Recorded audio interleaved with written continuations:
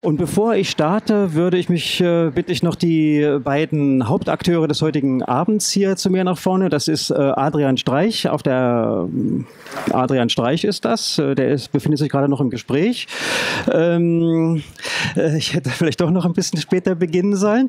Ähm, aber ich bin mir sicher, dass er gleich hier sein wird. Äh, und das ist Axel Simon, ich würde mich auch freuen, wenn du ein bisschen hier äh, zu, zu mir ein bisschen näher kommst. Adrian, ich wäre total happy, wenn du hier an diese Seite kommst, weil hier vorne steht eine Kamera äh, und ähm, die sollte sozusagen äh, nicht nur den mehr oder weniger leeren Eingang filmen. So, und äh, das ist jetzt äh, das Signal, dass es losgeht. Ähm, lieber Adrian Streich, hier äh, zu meiner Linken, äh, lieber Axel Simon, liebe Freunde, sehr geehrte Damen und Herren, ich freue mich, ähm, ich begrüße euch und Sie recht herzlich zur Eröffnung der Ausstellung Adrian Streich, ähm, Citta Analoga und freue mich, dass wir heute Abend gemeinsam die Gelegenheit haben, diese Ausstellung äh, zu eröffnen, äh, zu sehen und ich hoffe auch im positiven Sinne ähm, zu diskutieren und zu reflektieren und das nicht nur äh, entre nous, äh, sondern gemeinsam mit Adrian Streich. Also das ist der Punkt, um nochmal zu sagen, herzlich willkommen, lieber Adrian Streich. Ähm, Damit wir das, was wir sehen, besser verstehen, haben wir wie immer einen Gast eingeladen, der uns ein paar Stichpunkte mit auf den Weg gibt. Ich freue mich, dass dieses Mal die Einladung Axel Simon angenommen hat. Auch an ihn nochmal ein herzliches Willkommen in Berlin. Bevor ich das Wort an ihn übergebe, möchte ich, ähm, wie immer, äh, gerne die Gelegenheit nutzen, ein paar ähm, Worte zur Ausstellung aus meiner Perspektive zu sagen. Diejenigen von euch, äh, liebe Gäste, die öfters hier sind, ähm, wissen, dass die Galerie kein Ort ist, an dem Architektur mittels Plänen und ähm, Modellen und Fotos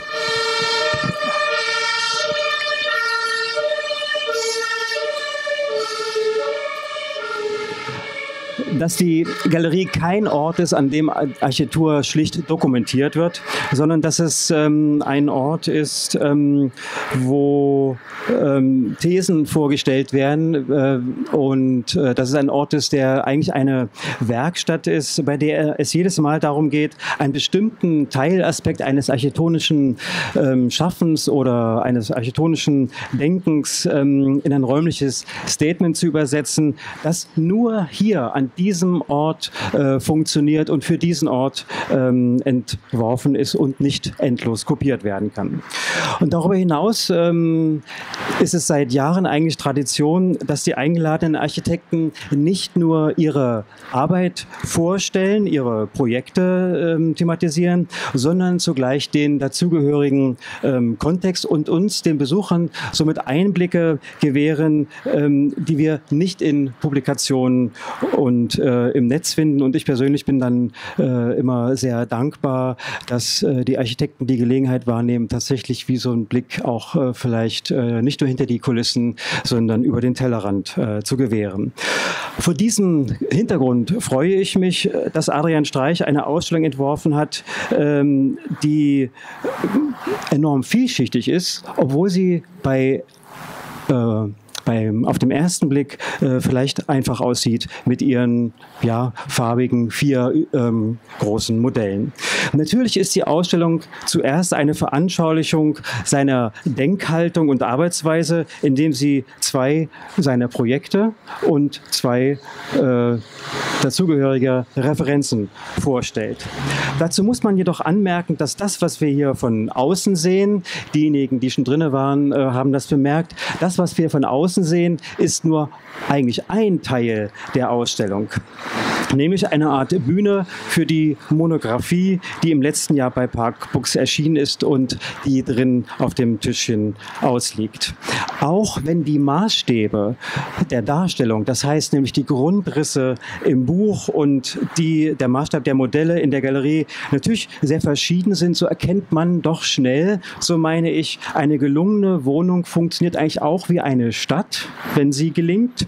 Ähm, und eine intakte Stadt funktioniert eigentlich eigentlich wie eine gute Wohnung. Und Adrian Streich ist eben ja nicht nur jemand, der Wohnungen entwirft, sondern diese Wohnungen befinden sich in Häusern und diese Häuser ähm, bilden ähm, Städtebau. Und ein nächster Punkt ist natürlich der Titel Città Analoga. Ähm, ähm, und äh, die Gegenüberstellung von zwei eigenen mit zwei äh, und von zwei Gebäuden anderer Architekten.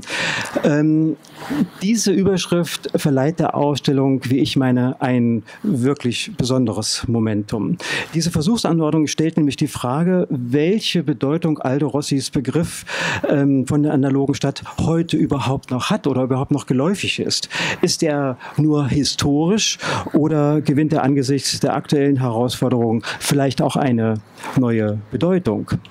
Als Adrian Streich und ich uns vor Monaten über die Konzeption der Ausstellung ähm, unterhielten ähm, und er mir vorschlug, dass unter anderem eben auch ein Projekt von Aldo Rossi äh, hier zu sehen sein wird in der Ausstellung, ausgerechnet das Projekt äh, Schützenstraße, ähm, wies ich ihn darauf hin, dass gerade dieses Projekt, das letzte realisierte Projekt von Aldo Rossi, ähm, für die Berliner in gewisser Weise ein rotes Tuch darstellt. Ähm, ähm, aber Adrian Streich hatte recht, als er entgegnete, du sagtest, ich sehe das Projekt ohne ideologischen Ballast ähm, und betrachte es als idealen Forschungsgegenstand, zumal 25 Jahre seit seiner Entstehung ähm, äh, vergangen sind. Und ähm, damit hast du recht und ich finde es interessant, dass du ähm, uns sozusagen vorzeigst, dass man auch eine andere Perspektive, die nicht ideologisch gefärbt ist, einnehmen kann.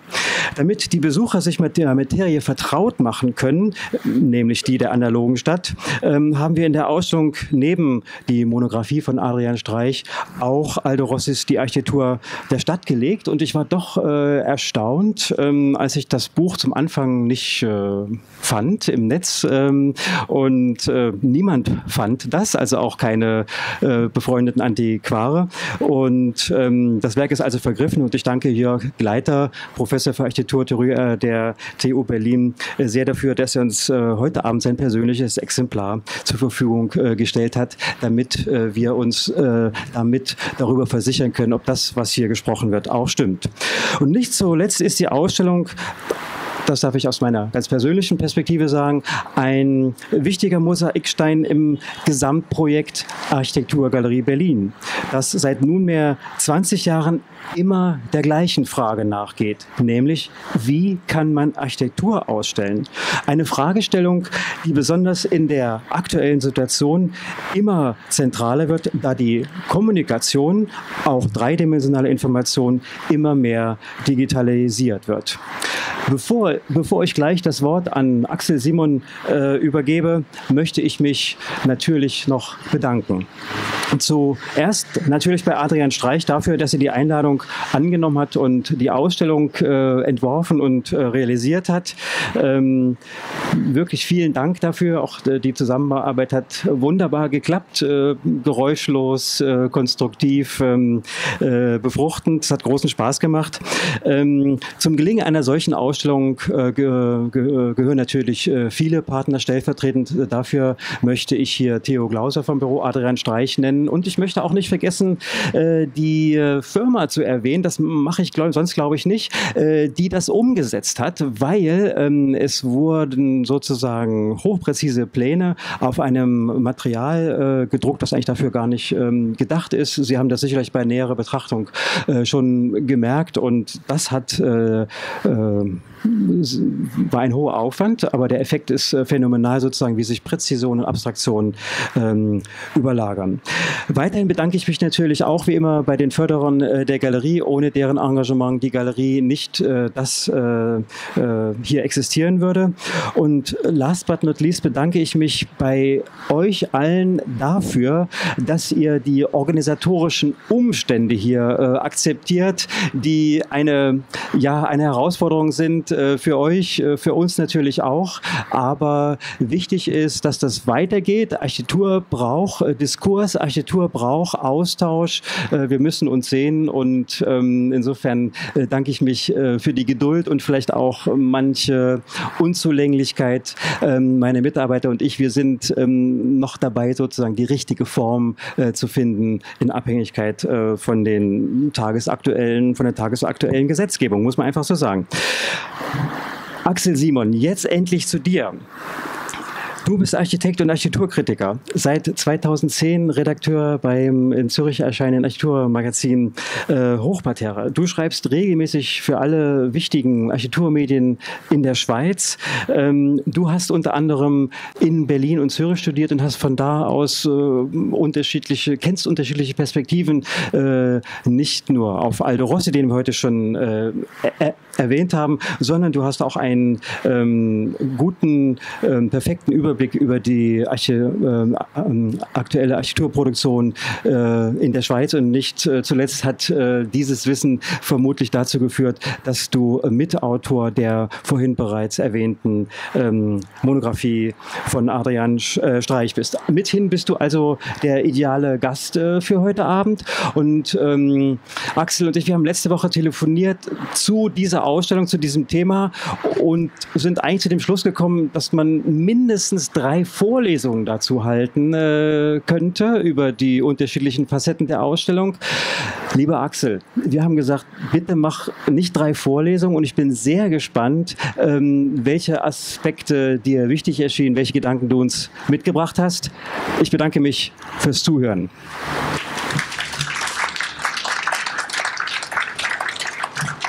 Vielen Dank. Lieber Ulrich, ich könnte gar nicht drei Vorlesungen zu diesem Thema halten. Oder ich müsste sehr lange, sehr viel lesen. Aber wie du sagst, ich ähm, beschränke mich jetzt auf maximal 15 Minuten und auf ein paar Stichworte. Ähm, nebenbei, du sagst, es sei hier eine, wirklich eine Herausforderung, ähm, ich finde es auch ziemlich scharf, muss ich sagen. Ich finde es ziemlich toll, hier auf der Karl-Marx-Allee zu stehen, quasi, oder zumindest auf dem Trottoir der Karl-Marx-Allee und hier die äh, Vernissage zu machen. Ich finde, das das passt auch gut zu der Ausstellung. Ähm, in, der, in dem Einladungs- oder in dem, in dem Ausstellungstext ähm, steht ja, dass Adrian in der Ausstellung ein Netz von Referenzen ausgeworfen hätte. Ähm, ich werde jetzt gar nicht erst probieren, dieses Netz ähm, irgendwie aufzudröseln. Was ich machen kann und machen werde, ist, ähm, mich an ein paar Stichworten äh, zu hangeln und was zu Berlin, zu Zürich, zu Rossi und zu Streich zu sagen. Und ich beginne ähm, oder erzähle jetzt, wie Ulrich das auch gemacht hat, von dem Moment, als ähm, ich mit Adrian über diese Ausstellung gesprochen habe. Er hat mir da ähm, ein Foto gezeigt, das in etwa dem entspricht, was da, dort auf dieser Einladungskarte ist, also ein Schwarz-Weiß-Foto von einem Modell dieses Raumes. Und was ich äh, gemacht habe, ähm, ohne das wirklich zu wollen, ist ihm versuchen, das auszureden. Ähm, weil ich habe, ich fand dann spontan das nicht so eine gute Idee, in Berlin ähm, Fassaden auszustellen. Ich habe mich dann, ähm, ich habe mich an meine Zeit in Berlin erinnert. Das war Anfang der 90er, Mitte der 90er Jahre. Äh, viele erinnern sich, äh, wie es dazu und her ging. Es war eine tolle, spannende Zeit, aber es war auch irgendwie eine, ähm, ja, eine, eine, eine äh, irritierende Zeit und auch eine bedrückende Zeit, weil sie sehr von Ideologien geprägt war. Also es gab, ähm, äh, es gab Stein versus Glas, Block versus Objekt. Ähm, die einen haben von europäischer Stadt geredet, die anderen haben Neu-Teutonia verstanden. Ähm, ich habe ähm, ich dann, ich bin dann nach Zürich gegangen, ähm, weil ich das Gefühl hatte, dort sei es weniger ideologisch. Also dort lehrte zu der Zeit ja auch ein Hans Kolloff an der ETH und auch ein Vittorio Lampugnani. und man sah den Studentenarbeiten auch an, äh, welche Ideologien äh, auf Seiten der Lehrenden dahinter steckten. Aber wenn diese Studierenden dann mal fertig waren mit ihrem Studium und selber gebaut haben, waren diese Ideologien plötzlich weg. Oder es waren andere Ideologien. Aber ich hatte das Gefühl, in, in der Schweiz, aus Berlin kommend, redet man mehr über Raum, über Konstruktion, über das, was Architektur eigentlich ausmacht. Ähm, ich wollte aber eigentlich anders anfangen, fällt mir jetzt gerade ein. Ich wollte, ich wollte kurz mal ähm, sagen, was man eigentlich sieht jetzt in dieser Ausstellung. Es sind ja vier Gebäude, die Fassaden von vier Gebäuden. Von einem davon äh, sieht man ein Volumenmodell. Also es ist ein Gebäude aus Berlin, Ulrich hat es schon erwähnt. Es ist ein Gebäude aus Rom, das ist dieser Turm in der Mitte. Es gibt zwei Gebäude aus Zürich. Die Gebäude sind aus den 90er Jahren. Das aus Rom ist aus den 50er Jahren und die aus Zürich sind aus den Nuller Jahren, beziehungsweise das lange, schöne hinten wird gerade erst gebaut. Ähm, jetzt komme ich also wieder zurück in die Schweiz und an die ETH. Bei Rossi war es ja ganz ähnlich. Rossi hat ja auch in, äh, in Zürich gelehrt, kurz, nur wenige Semester als Gastdozent in den 70er Jahren. Ähm, und auch bei ihm war es so, dass die Studenten bei ihm äh, alles äh, lauter kleine Rossis gezeichnet haben. Ähm, und als sie dann selber gebaut haben, waren es plötzlich Herzog de Meuron, Miley Peter und ihr kennt all die Namen. Ähm, die Generation, die jetzt mittlerweile selber emeritiert sind, nachdem sie auch gelehrt haben. Ähm, es gab auch noch einen Martin Steinmann äh, aus dieser Generation, der die Theorie seiner Generation sehr dominiert hat. Es gab einen Heinrich Helfenstein, der die Architekturfotografie dominiert hat. Es gab einen Miroslav Schick, ähm, der die Lehre an der ETH dominiert hat. Ähm, und Schick war auch mit, mit seiner analogen Architektur, wie er es ja ähm, genannt hat, war auch einer derjenigen, äh, der, der vielleicht auch den Weg von Rossi ähm, so ein bisschen weitergeführt hat. Der Weg, der von, von dem frühen Rossi, der, äh, dem rationalen, dem wissenschaftlichen Anspruch, dem typologischen, der typologischen Forschung, der Architektur der Stadt, das Buch, war ein sehr frühes Buch, er war noch keine 30, glaube ich, und als er in Zürich gelehrt hat, in dieser Zeit, Mitte der 70er, äh, gab es diesen Wandel bei ihm und er, er wurde plötzlich ähm, ja, nostalgisch. Also der, der, der, der Persö die persönliche Erinnerung spielt eine äh, wichtigere Rolle. Ähm, ähm, die Referenzen. Also das Wissenschaftliche wurde abgelöst die, die Vernunft wurde abgelöst von einer, von, von einer, eher von einer Nostalgie. Ähm, in Zürich hat Rossi eben gelehrt, in Berlin hat er gebaut. Er hat ja nicht nur das gebaut, das war sein letztes Werk überhaupt. Er, ist, er hat äh, die Vollendung ja nicht mehr erlebt, er ist ja bei einem Autounfall gestorben. Und ähm, das, das ist sein Vermächtnis, sein Berliner Vermächtnis.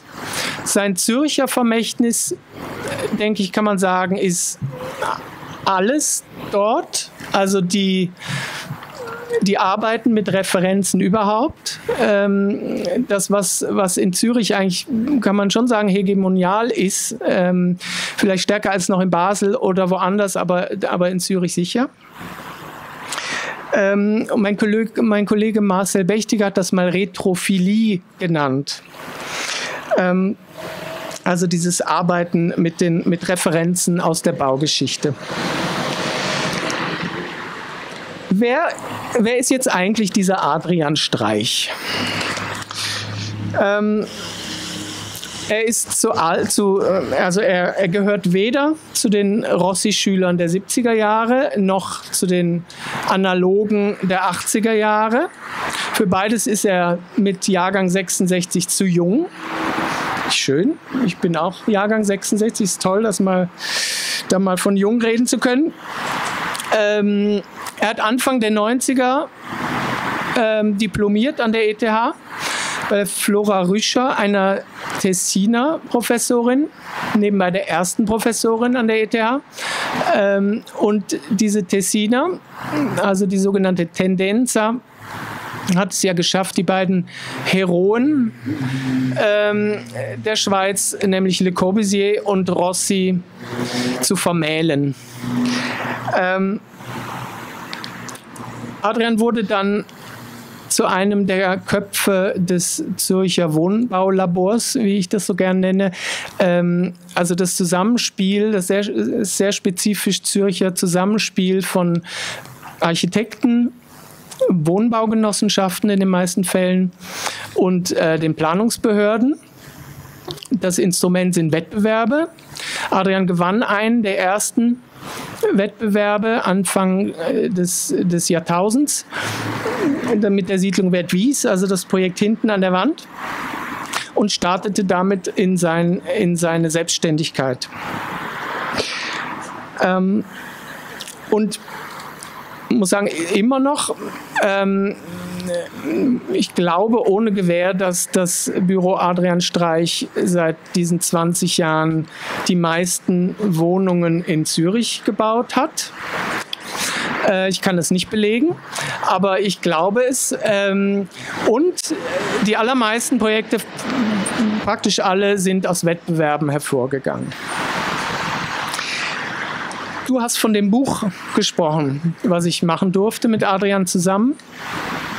Ähm, das Vorwort habe ich zwischen Experiment und Alltag genannt. Ähm, und zwar deswegen, weil ich glaube, es geht um beim, beim Werk von Adrian, und wenn ich Adrian sage, dann meine ich damit nicht nur Adrian, sondern natürlich das ganze Büro. Ähm, Judith, Tobias, Annemarie und ich weiß nicht, wie viele hier noch stehen vom Büro Streich. Ähm, ich glaube, es stehen zwei Dinge im Vordergrund, nämlich erstens das, was ich Experiment genannt habe, vor allen Dingen typologische Erfindungen im Grundriss.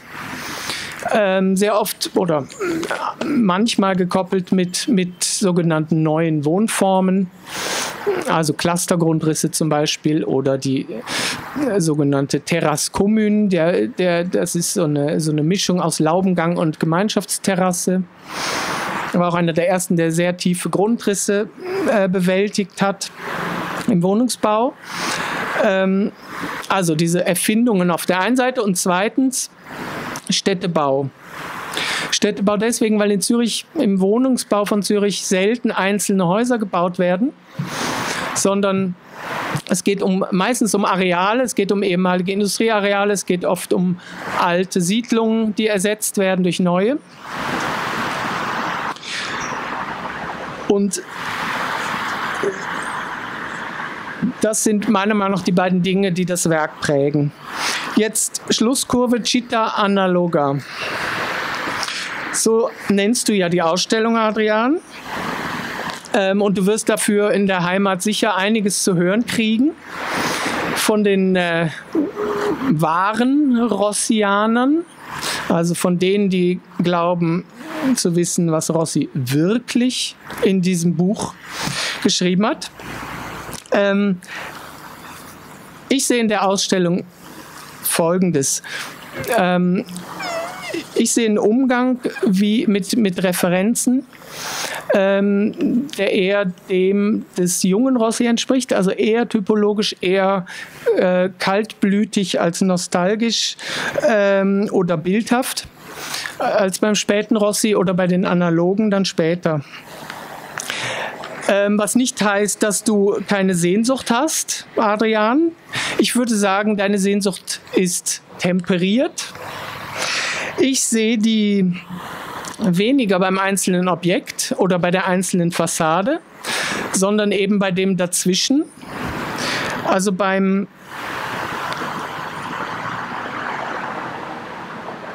bei der, eigentlich beim Stadtraum, bei der Normalität des Stadtraums und äh, bei den lebenswerten alltäglichen Orten. Wie sie zum Beispiel seine erste Referenz, Mario Ridolfi, der Turm in, in Rom, ähm, wie man sie dort findet, um diese Türme herum.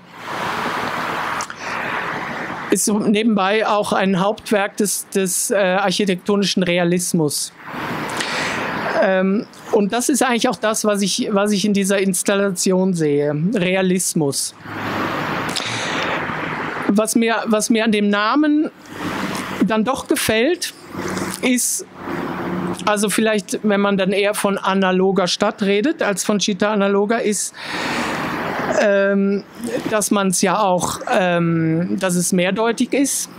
Also man kann es auch als ein, als ein Gegenstück zur digitalen Stadt zum Beispiel sehen, zu der Smart City, von der heute viel geredet wird. Da drüben ist das Computerspielemuseum, was ich schön finde.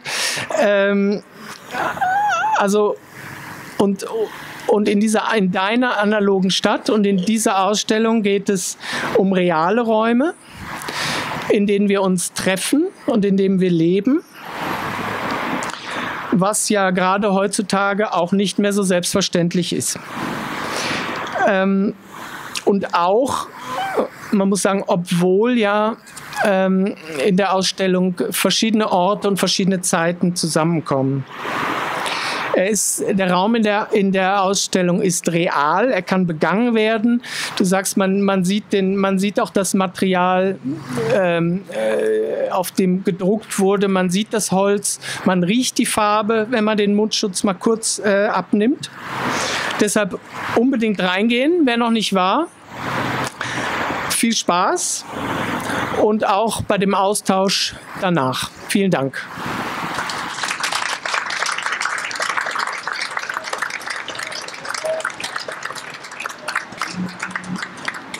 Ja, da bleiben mir nur noch ähm, Danke zu sagen. Es hat mich sehr gefreut. Äh, diese Ulrich hat etwa, es war ein Jahr her, dass er Kontakt mit uns aufgenommen hat und das war so wie eben diesen Büroalltag, war jetzt hat uns diese Ausstellung beschäftigt und ich denke, ich habe mich sehr gut wiedergefunden in dieser Darstellung von Axel Simon, da, ihn danke ich auch sehr und dann danke ich auch dem Büro, weil Architektur ist immer natürlich eine Arbeit, die man zusammen macht.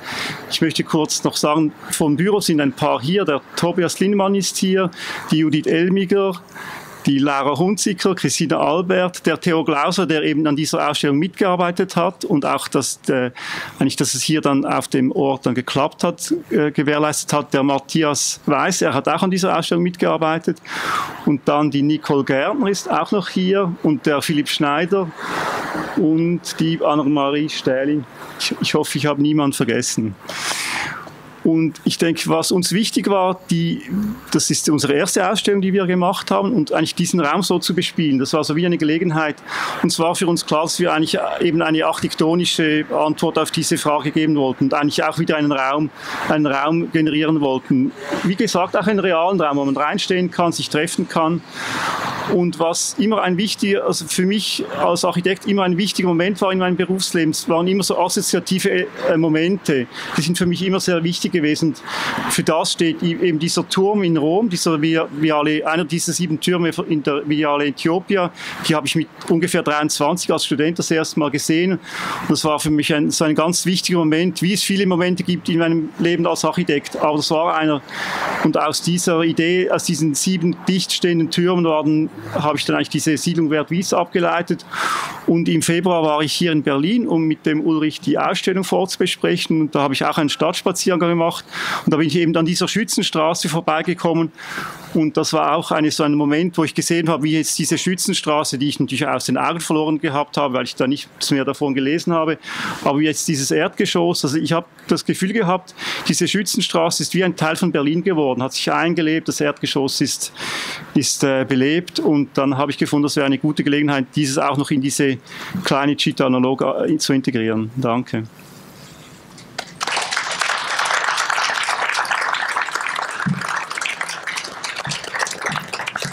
Ja, also ähm, dir auch nochmal vielen Dank, vielen Dank fürs Zuhören. Ich möchte noch ganz zum Schluss darauf hinweisen, dass wir planen tatsächlich ein ähm, Galeriegespräch am 15.10., äh, wo wir dann über alle Teilaspekte nochmal sprechen kommen können. Wir wissen noch nicht genau wie und in welcher Form. Wir hoffen, dass es gelingen wird und werden euch rechtzeitig wissen lassen, wie es aussieht. Und jetzt gibt es eine ganz kleine Umbaupause.